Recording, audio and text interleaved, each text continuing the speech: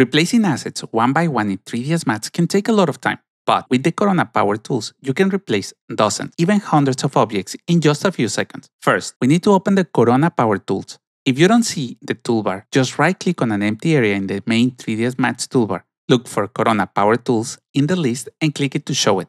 Okay, look at the Corona Power Tools toolbar. The first icon is the Object Replacer. We're going to click on it to open the tool window. The first thing we need to do in the Object Replacer is tell which object we want to use as the new replacement. So first, go ahead and select the new chair model you want to use in your 3D Max scene. Now, back in the Object Replacer window, click the Add button. You should see your selected chair listed in the window. You will also see a weight column next to it. We will talk about that later in the video, so don't worry about it for now. If you accidentally add the ground model, it's easy to fix. Just select the object in the list and click the Remove button. Or if you want to remove everything and start over, you can click the Clear button.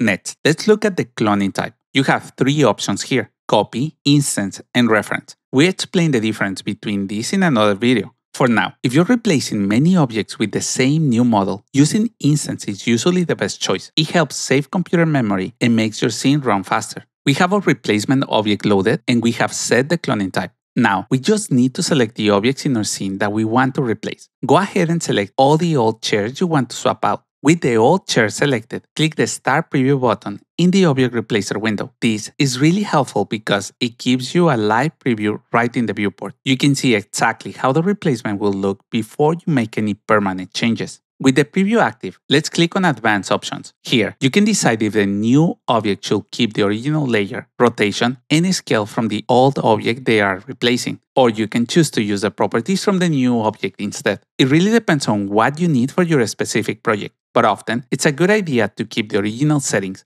especially if your old objects are positioned exactly how you want them. If you're happy with how the preview looks, click the Apply button. Now, let's talk about something really important when replacing objects, the pivot point. This is the point around which an object moves, rotates, and scales. It's important to have the pivot placed correctly to get results you expect. For example, with chairs, you usually want the pivot point at the bottom center so they sit correctly on the floor. But for a ceiling lamp, you may want the pivot at the top center. Sometimes, especially with models you download or import, the pivot point can be in a strange position, maybe floating far away. Look at this chair for example. Its pivot point is really way off. If we try to use the object replacer with this bad pivot, the new chairs won't line up correctly like they did on our previous example. But the Corona Power tools also include the Pivot Placer tool to fix this quickly. Let's select the object that has the bad pivot point. Now, find the Pivot Placer icon on the Corona toolbar. We're going to use this to move the pivot to the correct position. In the Pivot Placer window, look under Mode.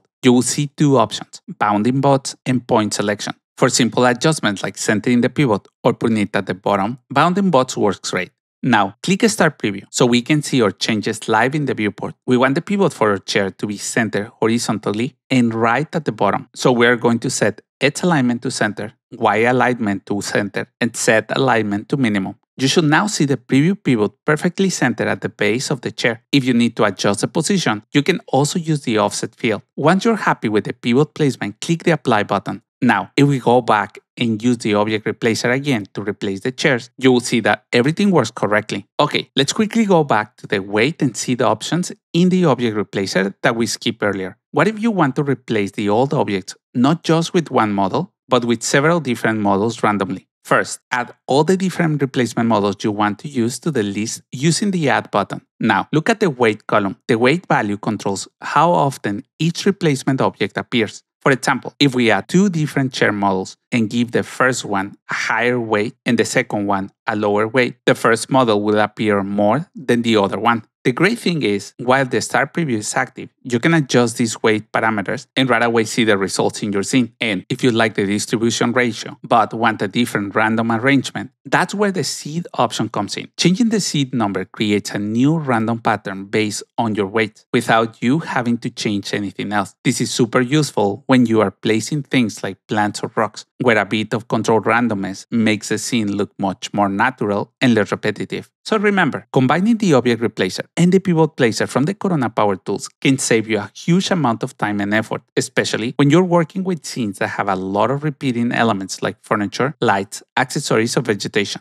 Hope you enjoyed the video. Don't forget to click the like and subscribe button. If you have any questions, let me know in the comment section below. and thank you for watching.